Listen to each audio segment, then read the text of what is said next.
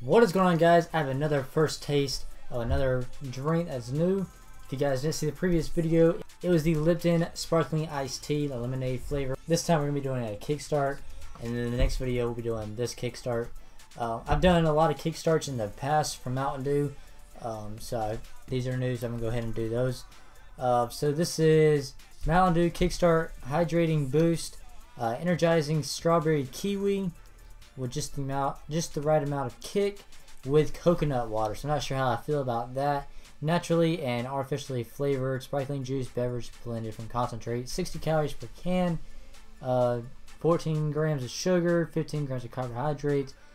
Um, so yeah, again, not a big fan of strawberry kiwi um, and that coconut water. Not sure how I feel about that. Uh, let's go ahead and try this right quick.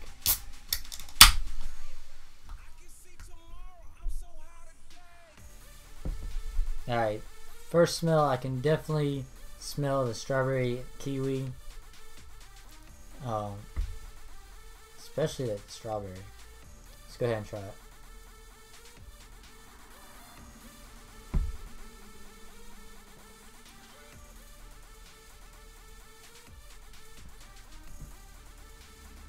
I feel like you can taste the kiwi. It's different.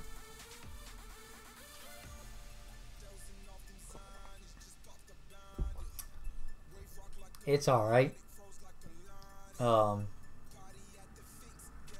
not something I would drink all the time, and I don't think uh, Kickstarts are something you should drink all the time. Um, probably like a morning drink or afternoon to get, keep you going.